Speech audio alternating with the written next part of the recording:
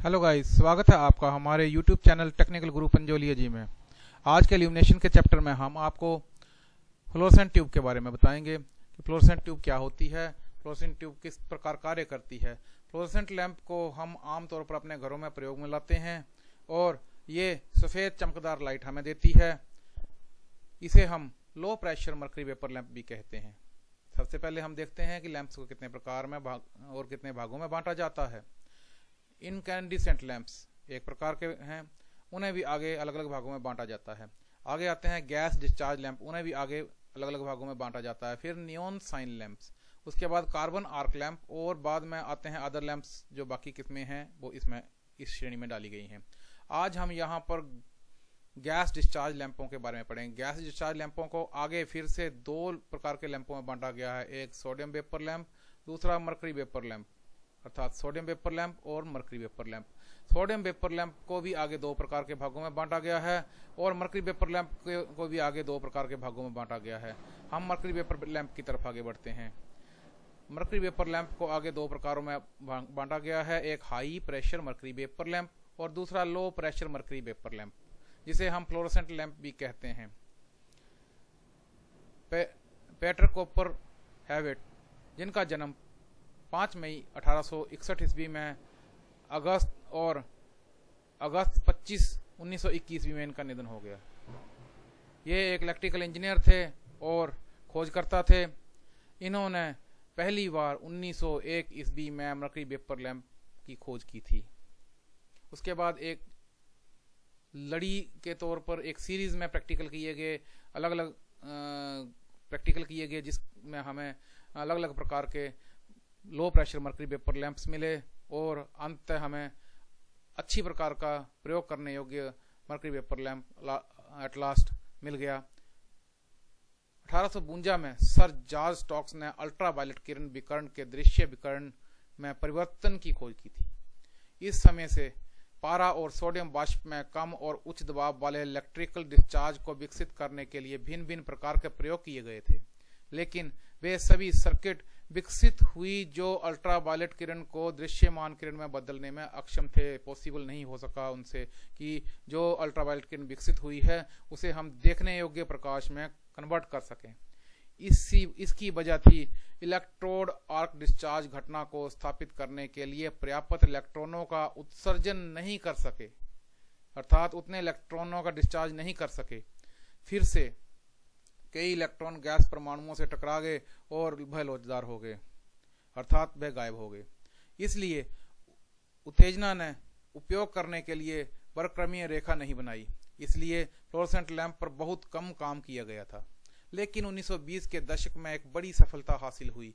इस तथ्य का पता चला कि कम दबाव पर पारा बाष्प और अक्रिय गैसें जैसे आर्गन इत्यादि का मिश्रण विद्युतीय इनपुट शक्ति को दो नैनोमीटर पर एक वर्क्रमीय रेखा में बदलने के लिए 60 प्रतिशत तक कुशल है। अतः अल्ट्रावायलेट किरण ट्यूब के अंदर उपयुक्त फ्लोरसेंट सामग्री का उपयोग करके दृश्य किरणों में परिवर्तित हो जाती है, अर्थात देखने योग्य प्रकाश में परिवर्तित हो जाता है। इस समय फ्लोरसेंट लैंप को लोगों के दैनिक जीवन में धीरे धीरे लाने लगे, पेश किया जाने लगा उनके प्रयोग के लिए। बाद में doctor W L fund Enfield ने उन्नीस में डॉक्टर ए एच क्रम्पटन से फ्लोरसेंट कोटेड लैंप के उपयोग के बारे में एक रिपोर्ट प्राप्त की थी। तुरंत ही एनफील्ड द्वारा एक रिसर्च टीम बनाई गई और वाणिज्य फ्लोरोसेंट लैंप बनाना शुरू किए गए। कमर्शियल फ्लोरोसेंट लैंप जो हैं, वो बनाना शुरू किए गए। 1935 में उनकी टीम ने एक प्रोटोटाइप ग्रीन फ्लोरोसेंट लैंप का उत्पादन किया, जिसकी दक्षता 60 प्रतिशत के करीब करीब थी। लगभग अढ़ाई साल बाद बाज़ार में एक सफ़ेद और छह अन्य रंगों के फ्लोरोसेंट लैंप भी पेश कर दिए गए। फ्लोरोसेंट पाउडर के भिन्न भिन्न मिश्रण का प्रयोग करके फ्लोरोसेंट के भिन्न भिन्न रंगों का उत्पादन करने के लिए प्रैक्टिकल किया गया।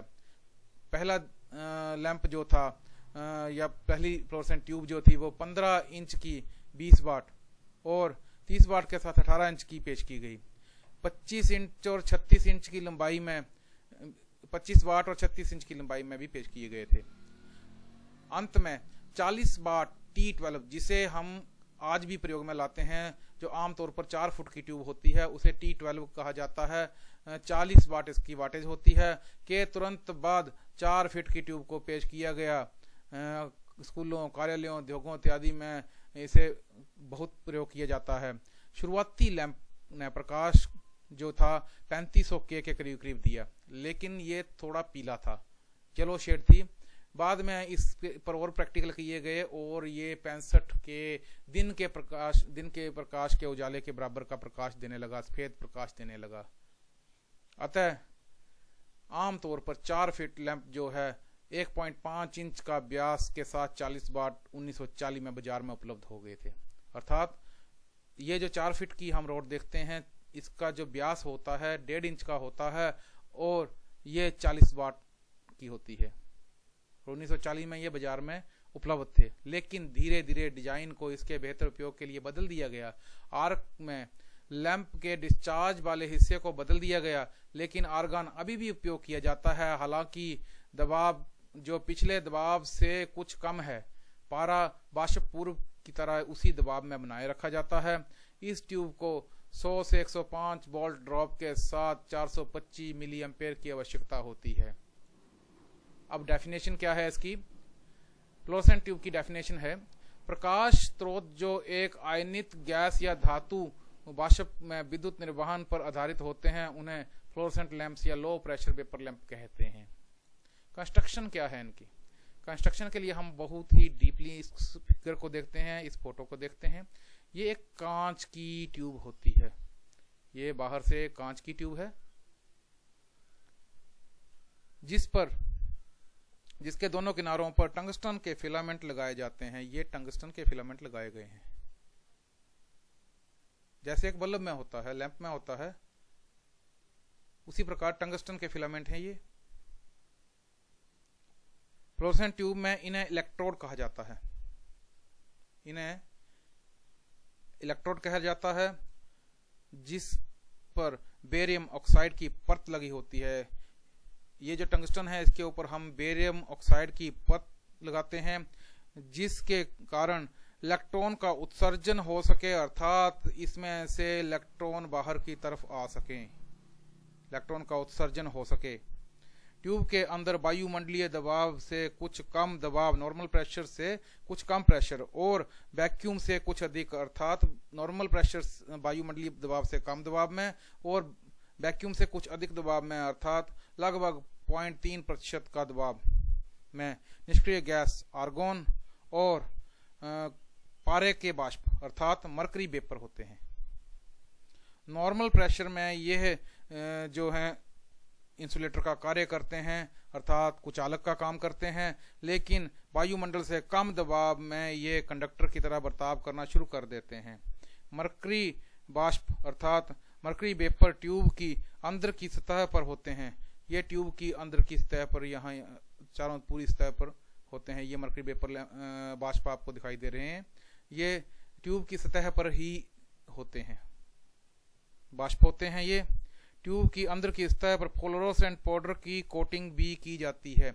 ये जो आपको कोटिंग दिखाई दे रही है, ये फ्लोरोसेंट पाउडर की कोटिंग की गई है। इसके बारे में थोड़ा सा क्यों की जाती है, आगे आपको मैं डिटेल में बताता हूँ। ट्यूब के दोनों तरफ़ किनारों पर बाई पिन कैप होल्डर लगे होते हैं। ये दो पिन वाले कैप होल्डर होते हैं, इन्हें बाई पिन कैप होल्डर कहते हैं। ये देखिए, ये कैप होल्डर जो है बाई पिन कैप होल्डर कहते हैं। अब यहाँ पर एक मार्का लगा होता है ये। हर ट्यूब के ऊपर जिसमें एच जी लिखा है। उसका मतलब है कि ये इसमें मरकरी पेपर हैं। ये चीज़ पेपर में आती है। अतः इन चीज़ों को, बरीक बरीक चीज़ों को ध्यान में रखना चाहिए हमें कि जिस पर मार्क के राउंड में एच जी लिखा गया है, वह मरकरी पेपर लैंप है, उसमें मरकरी के पेपर हैं। अब working of fluorescent lamp. Fluorescent lamp की वर्किंग क्या है? इसे low pressure mercury vapour lamp भी कहते हैं, जैसा कि मैंने आपको पहले बताया। फ्लोरोसेंट ट्यूब गैस विसर्जन, अर्थात गैस आयनीकरण के सिद्धांत पर कार्य करती है। गैस का आयनीकरण करने के लिए हाई पोटेंशियल अर्थात उच्च विभांतर की आवश्यकता होती है। यहाँ पर करंट सप्लाई दी जाती है, और जब इसे दी जाती है नॉर्मल जैसे जितनी सप्लाई दी जाती है, उतनी सप्लाई में यह काम नहीं कर पाती है स्टार्ट नहीं हो पाती है। अतः उसके लिए यहाँ पर हमें एक चौक लगानी पड़ती है। ये जो चौक है, इस, ये हाई पोटेंशियल डिफरेंस पैदा करती है, और उसके कारण आगे की कार्रवाई शुरू होती है। चौक स्टार्टिंग में दी गई वोल्टेज सप्लाई से लगभग चार गुना पोटेंशियल डिफरेंस लगभग एक हज़ार वोल्ट के करीब करीब इलेक्ट्रोड सप्लाई करता है। जिस कारण ऑर्गन गैस इलेक्ट्रोड द्वारा गर्म होने पर आयनीकृत होकर डिस्चार्ज होकर कंडक्टर का कार्य करती है। अर्थात जब इस बात को बड़े ध्यान से समझने वाली नॉर्मल सी बात है ये।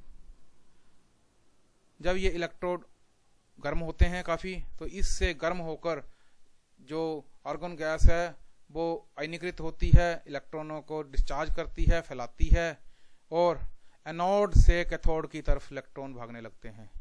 एनोड से कैथोड की तरफ़ इलेक्ट्रॉन भागने लगते हैं। तो ये जो इलेक्ट्रॉन हैं फ्लो करना शुरू करते हैं, और पारे के बाष्प अर्थात मरकरी वेपर लैंप जो हैं बैंगनी किरणें उत्पन्न करते हैं। इससे टकराकर पारे के बाष्प जो हैं, मरकरी वेपर जो हैं बैंगनी किरणें, अल्ट्रावायलेट वेव्स उत्पन्न करते हैं। और अल्ट्रावायलेट वेव्स की रोशनी को देखने, योग्य बनाने के लिए, जैसा कि मैंने आपको पहले ही बताया कि फ्लोरेसेंट पाउडर का कोटिंग जो है, क्यों की जाती है, उसके बारे में मैंने आपको यहाँ पर फिर से बताता हूँ।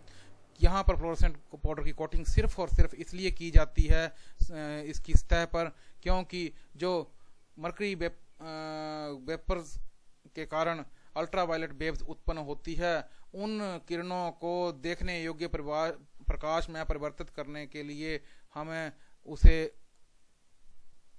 फ्लोरोसेंट पाउडर के बीच में से गुजारना पड़ता है और वो देखने योग्य सफ़ेद प्रकाश के रूप में परिवर्तित हो जाती हैं। इस कारण फ्लोरोसेंट पाउडर की कोटिंग करनी पड़ती है। इस पाउडर की कोटिंग के कारण आरामदेह देखने योग्य रोशनी परिवर्तित हो जाती है। अलग अलग प्रकार के किस्म के फ्लोरसेंट पाउडर का प्रयोग करके हम ट्यूब में से अलग अलग प्रकार की रोशनी, लाल, नीली, हरी, सफ़ेद अलग अलग प्रकार की रोशनी का प्रयोग कर सकते हैं। अतः यहाँ पर बड़े ध्यान से एक बार फिर से स्टडी करते हैं। ये देखिए मर्करी पेपर लैंप है। ये सप्लाई यहाँ पर आ रही है। चौक के द्वारा जब हमने इसको सप्लाई दी तो ये इलेक्ट्रोड गर्म हुए। ये एनोड से इलेक्ट्रॉन कैथोड की तरफ़ भागने शुरू हुए और ये जब मर्करी वेपर लैंप के साथ टकराते हैं तो ये बाष्पीकृत होके अल्ट्रा वायलेट लाइट को उत्पन्न करते हैं। अब ये जो अल्ट्रा वायलेट लाइट है, ये अल्ट्रा वायलेट लाइट देखने योग्य नहीं है। अब यहाँ पर जो ये कोटिंग की गई है फ्लोरोसेंट पाउडर की, ये हमें विजिबल लाइट प्रदान कर रही है। विजिबल लाइट प्रदान कर रही है। यहाँ पर भी वही चीज़ बताई गई है। इलेक्ट्रॉन वेपर्स के साथ टकरा के इनका बाष्पीकृत होता है और ये अल्ट्रा वायलेट लाइट पैदा कर रहे हैं, लेकिन ये जो हरे रंग की फ्लोरसेंट कोटिंग आपको दिखाई दे रही है। फ्लोरसेंट कोटिंग को शो करने के लिए हरे रंग की लाइन लगाई गई है। तो इसके साथ टकरा के जो रोशनी बाहर आ रही है ये देखने योग्य प्रकाश है ये चमकने वाला प्रकाश है जो हमारे काम आता है, जिस, जिसे हम प्रयोग में लाते हैं। ये अंदर से आपको ट्यूब का दृश्य बताया गया है। ये, यहाँ फ्लोरसेंट कोटिंग की गई है, यहाँ पर नहीं की गई है ताकि आपको हम अंदर से दिखा सकें। ये हमारी एल्यूमिनियम कैप है, ये ग्लास की स्ट्रीम है, जिस पर एलिमेंट के, सेट किया जाता है। ये इलेक्ट्रोड कॉइल हैं टंगस्टन के, उसके पश्चात ये कैथोड शील्ड है, ये शील्ड ऊपर लगा दी जाती है, इसको कवर कर दिया जाता है। उसके पश्चात ये आर्गोन है आर्गोन के जो निष्क्रिय गैस है, उसके एलिमेंट हैं एटम हैं। और लिक्विड ये देखिए लिक्विड अवस्था में मरकरी के वेपर जगह जगह होते हैं, इसमें डाले होते हैं, रखे होते हैं इसकी सतह पर होते हैं। ये ध्यान से देखिए इसको। ये लिक्विड मरकरी वेपर है। और ये जो अंदर की तरफ़ मरकरी वेपर के नीचे सफ़ेद रंग की लाइन दिखाई दे रही है, ये अंदर के तरफ़ फ्लोरोसेंट पाउडर है। फास्फोरस कोटिंग की गई है। और ये जो बाहर की पूरी कांच की ट्यूब बनी होती है। अब वर्किंग क्या है? जैसा कि आपको मैंने पहले बताया वर्किंग बहुत ही सिंपल फार्मूले से आपको मैंने समझाई है। यहाँ पर छोटा सा एक और उदाहरण देता हूँ। ये इसका सर्किट है। इसको सर्किट को बड़े ही आराम से, आसानी से हम समझ सकते हैं।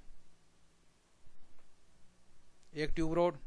जब हम सप्लाई देते हैं, बिल्कुल हर कनेक्शन सीरीज़ में करते जाना है।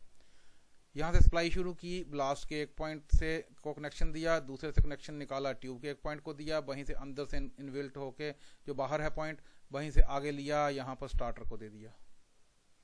स्टार्टर से आगे लिया, फिर हमने ट्यूब के दूसरे हिस्से को दिया, दूसरा हिस्सा अंदर से यहाँ पर कनेक्टेड है, यहाँ पर फिर जोड़ा और यहाँ पर इसको न्यूट्रल दे दी। सिंपल सर्किट है ट्यूब का। ट्यूब के सर्किट को याद रखने के लिए ज़्यादा मेहनत करने की ज़रूरत नहीं है। वर्किंग को एक बार फिर से समझाने की कोशिश करता हूँ। When a sufficiently high voltage is applied across the electrodes a strong electrical field is set up a small amount of current through the electrode heats up. The filaments coil the, as the filament is oxide coated a sufficient amount of electrons is produced and they rust from the negative electrode to the or cathode uh, to the positive electrode and anode due to this strong electrical field. During the movement of free electrons, the discharge process gets established the basic discharge process always follows in three steps तीन steps हैं। पहला step क्या है? Free electrons are delivered from the electrode and they gets accelerated by the electric field applied जो electric field apply की गई है electrode के ऊपर, उससे एक्सलेट होते हैं इलेक्ट्रॉन इलेक्ट्रॉन भागते हैं, भागने की कोशिश करते हैं, उत्सर्जित होते हैं। Kinetic energy of the free electrons is converted into the extension energy of the gas atom और ये जो काइनेटिक एनर्जी इलेक्ट्रॉन्स की है, ये गैस एटम के, को एनर्जी एनर्जेटिक करते हैं। The extension energy of the gas atom converts into the radiation और ये यूवी रेडिएशन में अल्ट्रावायलेट रेडिएशन में कन्वर्ट हो जाते हैं। In a discharge process a single ultraviolet spherical line of 253.7 nanometer is produced at the low pressure of mercury vapor. To generate 253.7 nanometer ultraviolet rays, the bulb temperature is kept between 105 to 115 Fahrenheit. The length of length to diameter ratio of the tube should be such that fixed wattage loss happens at both ends. Where this is loss or glow of electrodes take place is called cathode and anode fall region. इसे जो loss होता है, इसे cathode और anode का fall reason कहा जाता है। दिस बाट लॉसेज इज़ वेरी स्मॉल बहुत कम मात्रा में लॉस होते हैं यहाँ पर। Again the cathode should be oxide coated क्योंकि कैथोड जो है ऑक्साइड कोटेड होता है जो एलिमेंट जिसे हम टंगस्टन का कहते हैं, वो ऑक्साइड से कोटेड होता है। Hot cathode provides an evidence of free electrons hot cathodes means those electrodes which are heated by circulating current and this circulating current is provide by the choke और control gear जो चौक blast हमने लगाया होता है, उससे provide कराया जाता है। Few lamps have cold cathode also कुछ लैंप में कोल्ड कैथोड भी होते हैं। कोल्ड कैथोड है a large effective area and higher voltage such as 11 K V is applied across them to get ions get stars to the discharge due to the this high voltage application but 100 to 200 volt the cathode glows set separated and from the cathode it is called cathode fault This provides a large supply of ions which are accelerated to the anode to provide secondary electrons on impact which in the term produced more ions. But cathode fall is hot cathode. Cathode discharge is only in on the 10 volts only. Fluorescent lamp का जो circuit है, इसको इस तरीके से समझाने की कोशिश की गई है। फ्लोरसेंट लैंप में ये ब्लास्ट है, चौक है। ये एलिमेंट में जैसे पहले आपको बताया, इस प्रकार सर्किट है, ये सर्किट कंप्लीट होता जाता है। सीरीज़ में चलना है, कुछ भी करने की ज़रूरत नहीं है। बिल्कुल याद रखने की ज़रूरत नहीं है। एसी की एक सप्लाई फेस लिया, चौक को दिया, चौक के दूसरे पॉइंट से ट्यूब फ्लोरसेंट ट्यूब के एक पॉइंट को दिया, उसी के साथ वाले दूसरे पॉइंट से उठाया और स्टार्टर के दिया स्टार्टर से दूसरे पॉइंट से उठाया और फ्लोरसेंट ट्यूब के पहले पॉइंट तक, दूसरी तरफ़ और दूसरी तरफ़ के दूसरे पॉइंट से उठा के सीधा न्यूट्रल। यहाँ पर चीज़ आती है चौक क्या चीज़ है ब्लास्ट क्या चीज़ है। चौक का उद्देश्य फिलामेंट ट्यूब लाइट के दोनों छोरों पर, फिलामेंट अर्थात इलेक्ट्रोड जो दोनों छोरों पर होते हैं, के बीच शुरू में एक बहुत ही उच्च वोल्टेज प्रदान करना है, फिर से एक बार ट्यूब में गैस आयनीकृत होने के बाद चौक कम वोल्टेज प्रदान करता है। अर्थात, पहले ये लगभग जितनी सप्लाई दी जाती है, उससे चार गुना देता है, लेकिन ट्यूब जलने के पश्चात ये लगभग आधी रह जाती है, एक बटा दो गुना हो जाता है। चौक एक तार का क्वाइल है। फ्लोरोसेंट ट्यूब लैंप पारा वाष्प से भरे होते हैं। अल्ट्रावायलेट प्रकाश का उत्पादन करने के लिए वे पारा परमाणुओं को उत्तेजित करने के लिए विद्युत आवेश का उपयोग करते हैं। एक चमक स्टार्टर या जिसमें आमतौर पर स्टार्टर के रूप में जाना जाता है, ट्यूबलाइट सर्किट में, ट्यूबलाइट के प्रारंभिक प्रवाह को प्रदान करने के लिए उपयोग में किया जाता है। ये चौक इस प्रकार की मार्केट में अवेलेबल होती है। चौक का कार्य ट्यूब लाइट में जगह लेने के लिए, आयनीकरण के लिए पर्याप्त मात्रा में उच्च वोल्टेज प्रदान करना है और आयनीकरण की स्थापना और निर्वाह के बाद ट्यूब में वोल्टेज को सीमित करना है। अर्थात स्टार्टिंग में इसे एकदम सप्लाई से चार गुना वोल्टेज देनी है और स्टार्ट होने के पश्चात ये एक बटा दो में सप्लाई में आ जाता है। जितनी सप्लाई दे रहे हैं, उससे भी आधी सप्लाई आगे प्रदान करता है। ये चौक का काम है। अतः यही कारण है कि जब चौक शॉर्ट सर्किट हो जाता है, खराब हो जाता है तो ट्यूब रोड भी फ्यूज हो जाती है। यहाँ पर जो स्टार्टर पॉइंट आया, स्टार्टर क्या है? स्टार्टर किस काम आता है? ये एक ऐसी युक्ति है जो किसी परिपथ में के 20 से 25 बार प्रति मिनट की दर से ऑन और ऑफ़ कर सकती है। यह वोल्टेज पर आधारित है। यह एक छोटे कांच के बल्ब में दो बायोमेटेलिक स्ट्रिप्स बंद की हुई होती हैं। ये छोटे कांच के बल्ब में एक ये बायोमेटेलिक स्ट्रिप है और ये एक ये है बायोमेटेलिक स्ट्रिप बंद की होती हैं। इस बल्ब में हाइड्रोजन और या हीलियम गैस भरी होती है। सामान्य रूप से बायोमेटेलिक स्ट्रिप के कनेक्ट कॉन्टेक्ट बिंदु खुले होते हैं। ये देखिए, ये जो बायोमेट्रिक एक स्ट्रिप ये है, एक स्ट्रिप ये है, लेकिन इसके बीच में जो कॉन्टैक्ट है, नहीं है। बिल्कुल कॉन्टैक्ट टूटा हुआ है। सामान्य तौर पर यह कॉन्टैक्ट टूटा रहता है। जब स्टार्टर में सप्लाई पहुँचती है तो धारा गैस में से गुजर कर चमक उत्पन्न करती है। जब स्टार्टर में सप्लाई वोल्टेज जाती है तो यह इसमें जो गैस है, वह चमक उत्पन्न करती है, जिससे बाई मेटेलिक स्ट्रिप गर्म होकर यह जो बाई मेटेलिक स्ट्रिप राउंड की गई है यह गर्म हो जाती है। गर्म होकर थोड़ी फैलती है। जैसे ही फैलती है तो इसके फैलते ही जो गैप है दोनों स्ट्रिप्स का बहुत कम होता है, एकदम खत्म हो जाता है, दूसरी स्ट्रिप से टकरा जाती है। एक, दो सेकंड के में बायोमेटेलिक स्ट्रिप मुड़कर परिपथ ओपन करती है, क्योंकि गैस ठंडी हो जाती है।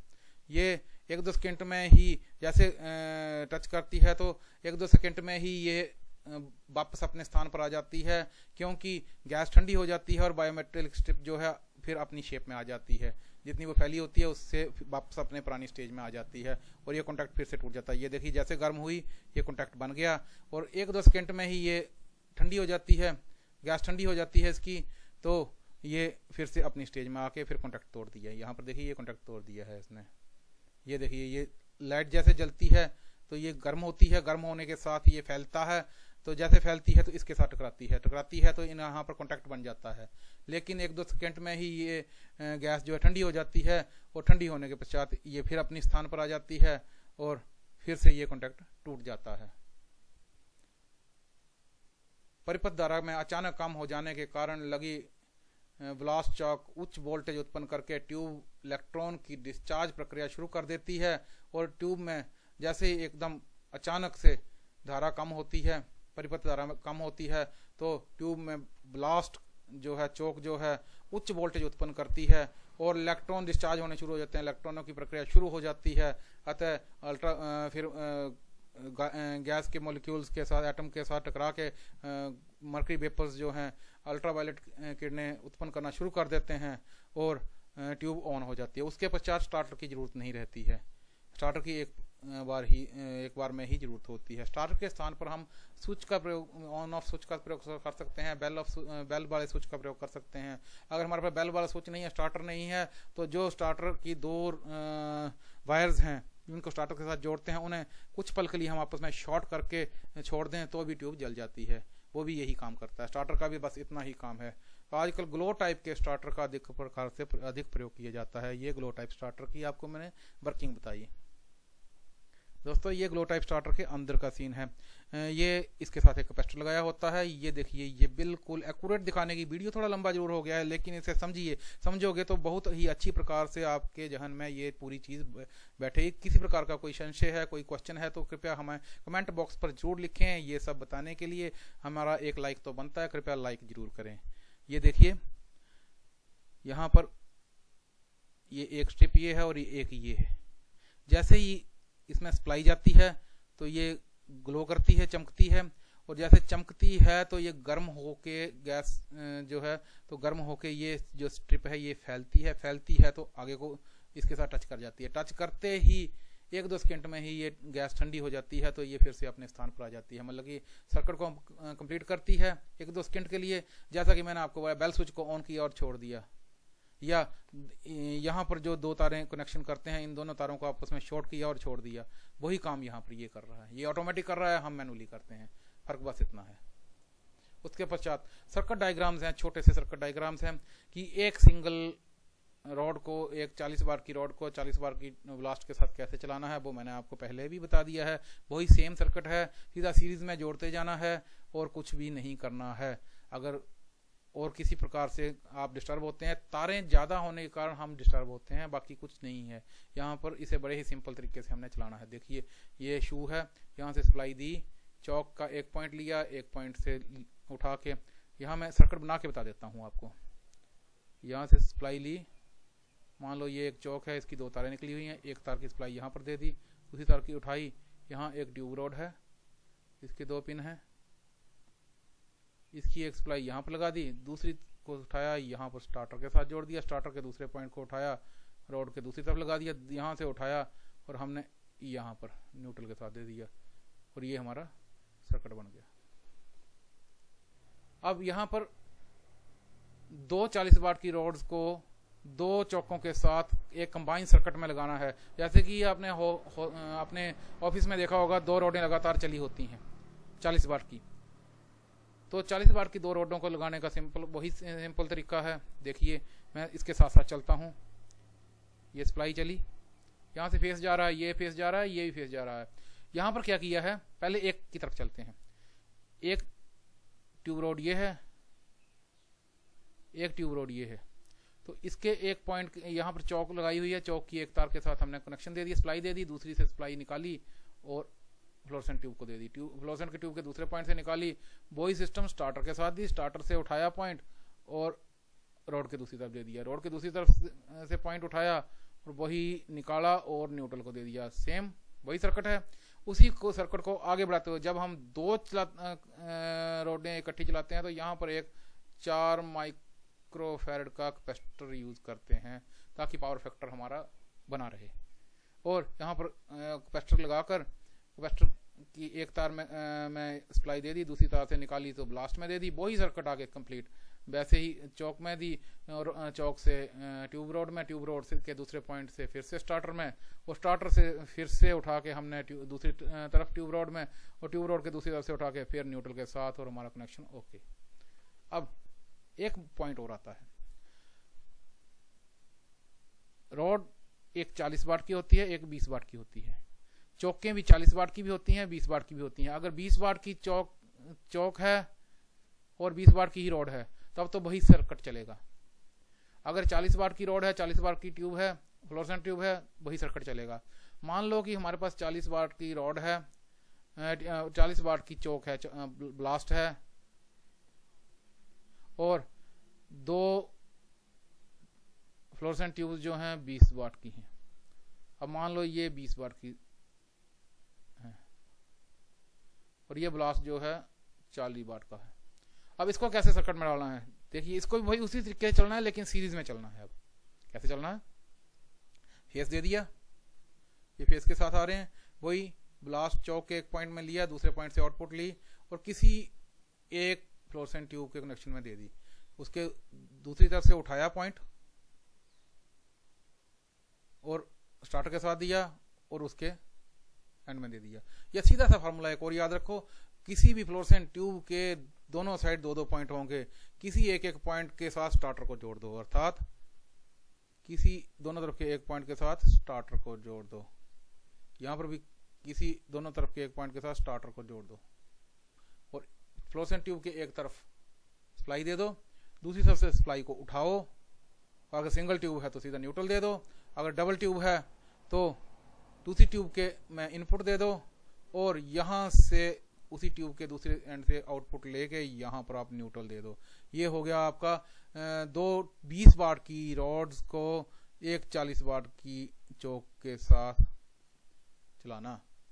अब यहाँ पर क्वेश्चन आता है दोस्तों एसी सप्लाई में इसका प्रयोग करते हैं लेकिन क्या फ्लोरसेंट ट्यूब को हम डीसी सप्लाई में भी यूज़ कर सकते हैं? क्या डीसी सप्लाई में भी हम इसका प्रयोग कर सकते हैं? तो हाँ दोस्तों बिल्कुल कर सकते हैं। थोड़ा सा चेंजिंग होगी इसमें। क्या चेंजिंग होगी? अभी मैं आपको समझाता हूँ। बोलता है fluorescent lamps which is commonly known as tube light can be operated on DC supply. To make a fluorescent lamp uh, work on DC supply, a resistance is connected in addition to the usual choke as shown in the figure. बोलता है चौक जो ये है चौक का जो blast का symbol होता है, मैं पहले बताना भूल गया आपको, ये होता है तो ब्लास्ट का जो सिंबल है, ये है, और इसमें ब्लास्ट के साथ एक रेजिस्टेंस एक्स्ट्रा जोड़ना पड़ता है एक रेजिस्टेंस एक्स्ट्रा जोड़ना पड़ता है। एक रेजिस्टेंस एक्स्ट्रा जोड़ देते हैं। After adding the extra resistance and connected to DC supply continuously the positive end of the tube will become black and अगर हम क्या करें कि यहाँ पर सीधा पॉजिटिव और यहाँ पर सीधा नेगेटिव दे दें। डीसी में दो आएँगे ना? तो यहाँ से देते रहेंगे। तो जो पॉजिटिव एंड में लगातार सप्लाई जाती रहेगी तो ये धीरे धीरे ये ब्लैक होना शुरू कर देगा। तो इस चीज़ को रोकने के लिए हम क्या करते हैं, यहाँ पर इंटरमीडिएट स्विच या वर्सिंग स्विच लगाते हैं। जैसे सप्लाई को एक बार ऑन करेंगे तो इधर पॉजिटिव रहेगी, दूसरी बार ऑन करेंगे पॉजिटिव इस तरफ़ चली जाएगी नेगेटिव इस तरफ़ आ जाएगी। ये रिवर्स होता रहता है। इसलिए कभी पॉजिटिव ये बन जाता है, कभी पॉजिटिव ये बन जाता है तो इसलिए दोनों, ये ट्यूब रोड जो है, बराबर कार्य करती है, और कभी उधर से और कभी उधर से लंबी उम्र तक काम करती रहती है। The positive end of the tube will be become black and it is due to the migrant of ionised mercury vapours to the negative end क्योंकि जो mercury vapour lamp mercury vapour हैं, वो जो है आयनाइज होते हैं migrate होते हैं नेगेटिव की तरफ़। इसलिए ये पॉजिटिव काला होना शुरू हो जाता है। तो इसे बराबर मात्रा में प्रयोग में, लंबी उम्र तक चलाने के लिए ताकि कोई एक हिस्सा ही काला ना हो जाए। तो इसे हम हर पॉइंट पर जितनी बार ऑन ऑफ़ करेंगे, उतनी बार इसका, इस स्विच के कारण ये बदल जाता है। ये स्विच इसलिए इसमें लगाया जाता है। रिवर्सिंग स्विच इसे कहते हैं। To decrease the effect the input supply terminals have to be changed continuously इसी इफ़ेक्ट को बदलने के लिए हमें जो इनपुट सप्लाई के कॉन्टेक्ट हैं बदलने पड़ते हैं। तो तार को खोल के हर बार उधर से लगाना खोल के फिर दूसरी तरफ़ खोल के फिर दूसरी तरफ़ लगाना आसान नहीं है। इसलिए यहाँ पर हम एक ऑटोमेटिक स्विच का प्रयोग कर लेते हैं। To achieve this a change over switch is use usually a rotary switch is uh, it is ensured the uh, polarity reverse reversible every time the fluorescent lamp is switched on. जैसे polarity को change करते हैं ये fluorescent lamp लंबी उम्र के लिए चलता रहता है। अब इसके एडवांटेज और डिसएडवांटेज क्या है? एडवांटेज क्या है? It eliminates the stroboscopic effect ये स्ट्रोबोस्कोपिक इफ़ेक्ट को एलिमिनेट कर देता है। एसी में स्ट्रोबोस्कोपिक इफ़ेक्ट आता है लेकिन डीसी में बिल्कुल नहीं होता है। ये जो स्ट्रोबोस्कोपिक इफ़ेक्ट है, इस इफ़ेक्ट को डिस्क्रिप्शन में मैंने लिंक दिया है। वहाँ पर डिटेल से समझाया गया है और इस इफ़ेक्ट को ज़रूर आप पढ़ें। डिस्क्रिप्शन में से लिंक लेके इसको ज़रूर स्टडी करें कि स्ट्रोबोस्कोपिक इफ़ेक्ट क्या है। बहुत महत्वपूर्ण है पेपर में आने वाली चीज़ है और पूरी उम्र काम आने वाली चीज़ है। Power factor correction is not required DC में पावर फैक्टर करेक्शन के लिए कोई भी एक्स्ट्रा कार्य नहीं करना पड़ता है, ये इसकी एडवांटेज है। लेकिन डिसएडवांटेज क्या है? इनिशियल इन्वेस्टमेंट कॉस्ट हाई है, क्योंकि इसमें एडिशनल रेजिस्टेंस लगाया जाता है तो पावर कंजप्शन बढ़ जाती है। इस कारण इसकी इन्वेस्टमेंट कॉस्ट भी बढ़ जाती है क्योंकि स्टार्टिंग में इसको रेजिस्टेंस लगाया होता है, उसके कारण कॉस्ट बढ़ती है इंटरमीडिएट स्विच लगता है रिवर्सिबल स्विच उसके कारण कॉस्ट बढ़ती है, और इस रजिस्टर के रजिस्टेंस लगाने के कारण इसकी पावर कंजस्शन भी ज़्यादा हो जाती है तो बिजली भी ज़्यादा खाता है, उसके कारण इसकी रनिंग कॉस्ट भी बढ़ जाती है। Tube light efficiency is decrease और जैसा कि मैंने आपको बताया कि ये पॉजिटिव पर काला होता है तो इंटरमीडिएट स्विच रिवर्सिबल स्विच लगाने के बाद भी बारी बारी से ये पॉजिटिव पॉइंट चेंज तो होता रहता है, लेकिन फिर भी इसकी उम्र में कमी होती है। ये, इसकी उम्र जो है कम हो जाती है, दोस्तों। ये था हमारा fluorescent lamp, low pressure mercury paper lamp. अगर आपको हमारा वीडियो पसंद आया हो तो इसे लाइक करें, सब्सक्राइब करें और बेल आइकन को प्रेस ज़रूर करें। दोस्तों, शेयर ज़रूर करें, अपने दोस्तों को, सभी को दें, ताकि वे भी अपने सब्जेक्ट को आगे बढ़ा सकें, अपने इस चैप्टर को आगे बढ़ा सकें। धन्यवाद। Thank you very much.